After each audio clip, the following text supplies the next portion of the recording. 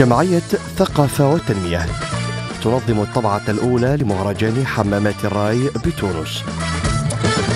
من الرابع إلى السابع عود 2016 في ميناء ياسمين الحمامات. بمشاركة وجوه فنية متألقة. هذه الطبعة بمساهمة